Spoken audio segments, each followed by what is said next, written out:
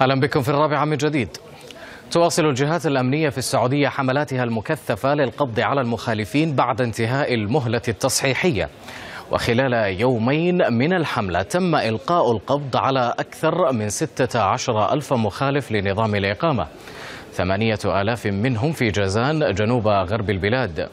من جهته أكد المتحدث الرسمي لجوازات المنطقة الشرقية معلى العتيبي بحسب صحيفة الشرق أن المخالف لنظام الإقامة والعمل يحق له التظلم خلال 30 يوما قبل أن يتم ترحيله أو تطبيق الغرامة المالية بعد التحقيق معه.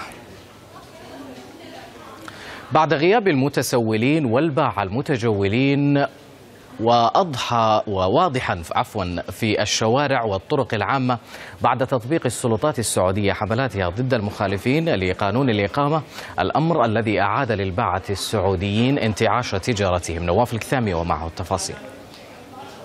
مع اليوم الرابع على انتهاء مهلة تصحيح أوضاع العمالة المخالفة في السعودية وبدء السلطات المحلية حملات أمنية للقبض على العمالة المخالفة.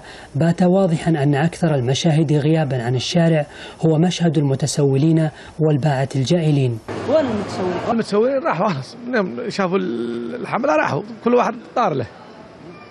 والله على وين راحوا؟ تخبوا في البيوت. كانوا فيه. بس دحين خلاص أمس والأمس واليوم ما مش موجودين. خلاص اختفوا يعني. في جدة وفي أحد أكبر أسواقها الشعبية في البلد كان أبرز الغائبين الباعة الجائلون وأصحاب البسطات المخالفة. والله البسطات مسكنا على حسب الجو... علشان ما مع الكفالات. لأنه الحين لازم أي بسطة أو دكان لازم يكون على الكفالة.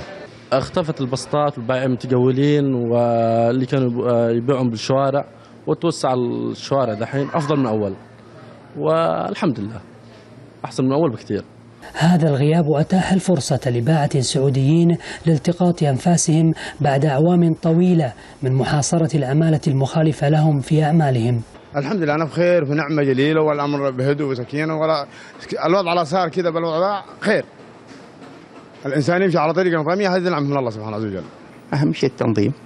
تنظيم الأسواق تنظيم المقيمين تنظيم الجاليات هذه الموجودة.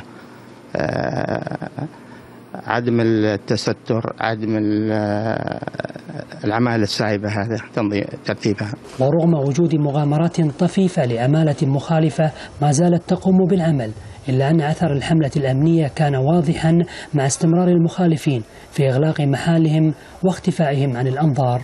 نواف القثامي العربية جدة. ومعنا من الرياض مراسل العربية هاني صفيان. مرحبا بك هاني.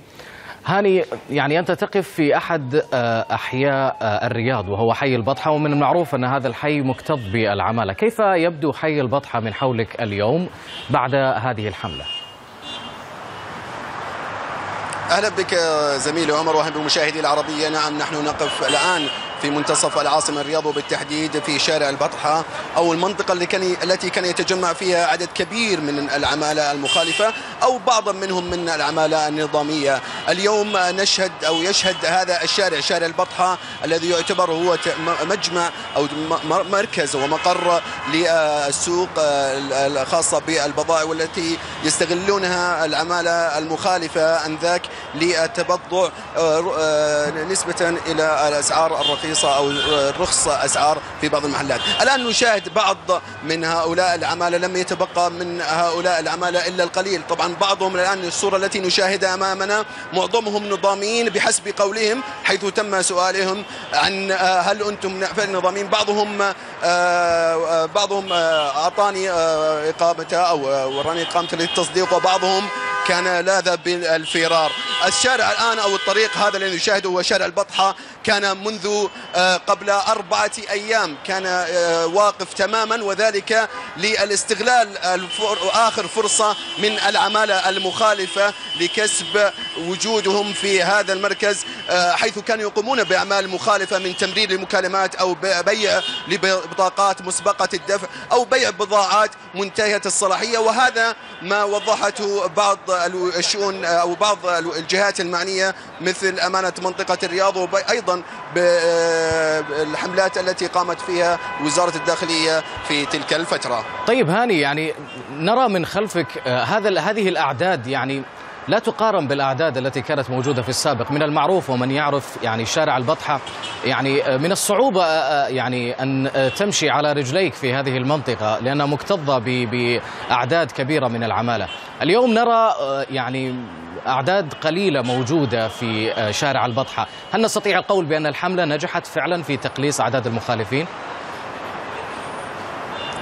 قبل أن أقول لك عن نجاح الحملة دعني أوضح للمشاهدين ما هي البطحة. البطحة فعلا هو مقر مركز رئيسي للتسوق. كان هناك الآلاف بل قد يصل في بعض أوقات الذروة أو بعض نهايات نهاية الأسبوع بالملايين خاصة من العمالة الأسيوية وبعض العمالة الأثيوبية. اليوم نستطيع بكل أريحية وكل من يزور هنا في ال downtown في البطحة يستطيع السير في داخل البطحة. نعم بالفعل عزيزي عمر الحملة نجحت وذلك بالكشف عن آه، أو آه، أو حصيلة من خلال الحصيلة التي وصلت إلى العربية وهي حصرية تقريبا تجاوز الآن عدد المخالفين التي تم قبض عليهم ما يتجاوز ال 25 ألف مخالف عمال آه، النظام أو نظام العمالة المخالفة في جميع مناطق السعودية. حرس الحدود لغاية حتى يوم أمس تم القبض على 12 ألف مخالف ومعظمهم من منطقة أو منفذ الطوالة في جنوب السعودية كانوا يحاولون سعيا للتوجه لبلدانهم لعدم التبصيم التي تلزمهم بعدم الدخول مرة أخرى إلى السعودية إلا بعد عشر سنوات. أيضا هنا في عاصمة الرياض حتى يوم أمس كان عدد من تم قبض عليهم. يتجاوز الألفين أو قرابة الألفين شخص. في منطقة القصيم يتج- تقريبا ألف ألف ومائتين شخص. كذلك هو الحال في المنطقة الشرقية التي تقع آه، شرق العاصمة السعودية. ولكن دعني أحدثك عزيزي عمر بأن أكثر منطقتين تم القبض عليهم بحسب الإحصاءات أو ما تم وصول أو ما تم إفادته لنا هنا خاصة في العربية. أن عدد أو أكثر الناس حصيلة أو أكثر العمالة المخالفة حصيلة كانت في السعودية تنحصر بين منطقتين الرياض وجدة ومن ثم يأتي المنطقة الشرقية أو منطقة دمام نلاحظ الآن عدد كبير من العمال بدأوا يتجمهرون هنا في البطحة لمشاهدة وقائع آه، حالهم في الأعمال النظامية. الآن هناك بعض المحلات التي تتجاوز تقريبا الآن في طيب، منطقة هاني. البطحة فقط أكثر من 5% مغلقة. نعم هاني عزيزي هل تلاحظ من حولك يعني بعضا من المحلات التي تم إقفالها أو أغلقت وتعثر عليها استكمال نشاطها بسبب يعني آه، هذه الحملة؟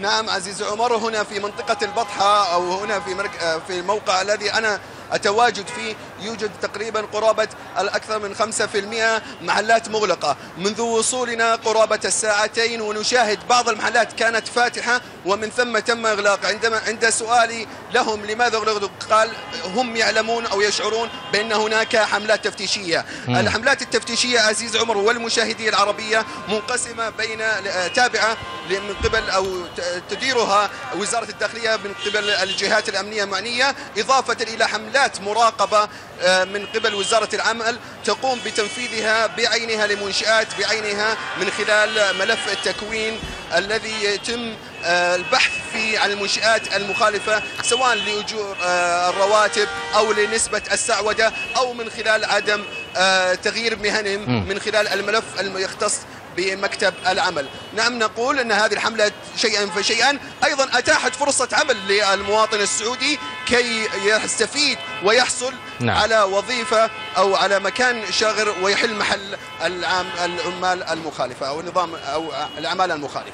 نعم هاني صفيان مراسل العربية حدثنا من الرياض وبالتحديد في حي البطحة. شكرا جزيلا لك هاني.